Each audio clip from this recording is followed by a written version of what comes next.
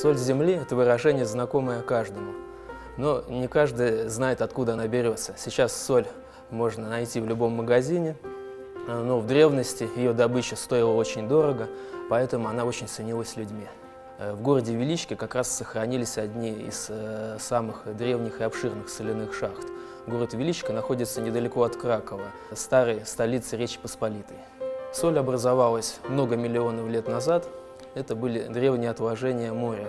Люди стали добывать соль в древности. Еще порядка около пяти тысяч лет назад из э, соляных рассолов люди выпаривали соль, а потом они стали углубляться колодцами под землю и добывать рассол из колодцев. И впоследствии, в 13-14 веке, в Величке появились обширные шахты. Добывали в шахте в основном колотую соль.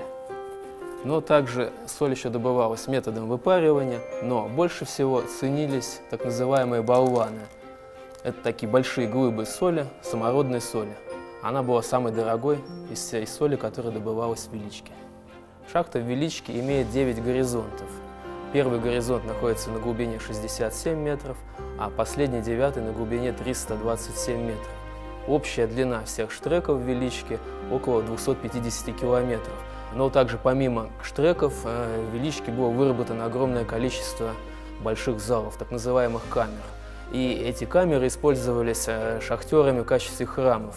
В Величке зародилась большая и очень интересная традиция резьбы по соли. Поэтому в стенах часовен и храмов подземного комплекса экскурсанты могут наблюдать огромное количество э, изображений, скульптур, барельефов.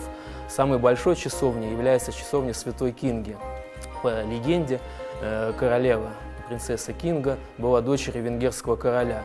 И согласно легендам, именно она открыла э, соль Велички. С 1978 года шахты Велички признаны объектом наследия ЮНЕСКО. В год их посещает около полутора миллионов туристов. Но на самом деле традиция экскурсий в Величке зародилась еще в 18 и 19 века. Эти шахты посещали многие знаменитые люди, государственные деятели, и даже наш царь, великий Петр I, также посещал Величку. Шахты также используются в качестве санатория для лечения легочных заболеваний, и также там проводятся различные спортивные и развлекательные мероприятия, например, концерты. На экскурсионном маршруте в соляных шахтах вы можете увидеть различные механизмы и инструменты, которые использовались при добыче. Труд шахтеров был всегда сопряжен с опасностью. Пожары, обвалы, затопление шахты. Добрым духом шахты являлся казначей – но также и покровителем шахтеров являлась святая Варвара.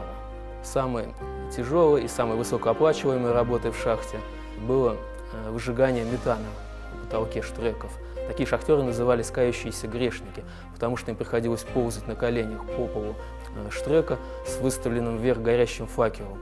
И как только этот горящий факел касался метана, происходил взрыв. Искусство этой работы заключалось в том, чтобы взрывать газ по частям – чтобы избежать большого взрыва. Неудивительно, что при такой опасной работе шахтеры при встрече с друг другом желали «Бог помощь», «Жечь Боже» по-польски. Поэтому и мне остается пожелать вам Бог помощь в вашем путешествии.